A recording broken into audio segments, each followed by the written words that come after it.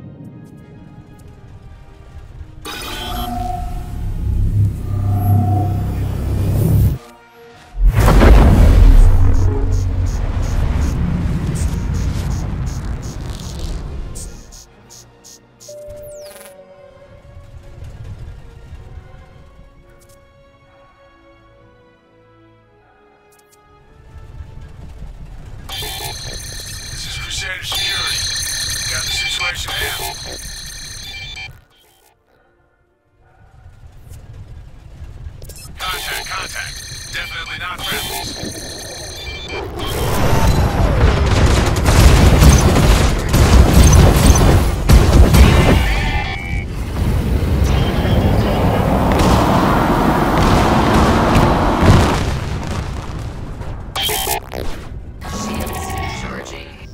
shields charging.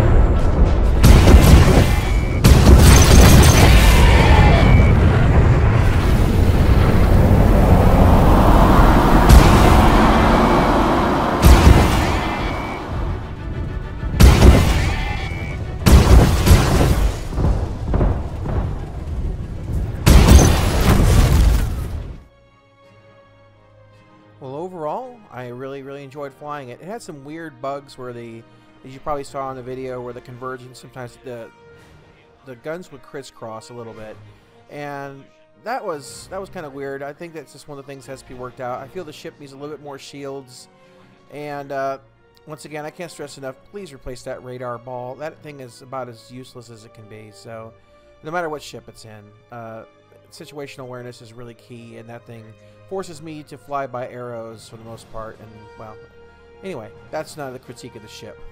the guns need a uh, they need to not overheat as quickly. Uh, they overheat way too fast, but a lot of punch, a lot of punch. I gotta give it that.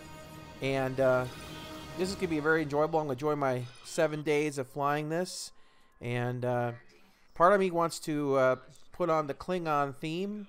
Uh, you know, from that bird of prey, that dun dun dun. And go out there and uh, you know be a pirate for a little while or something because well, when you're flying something like this, it almost feels mandatory.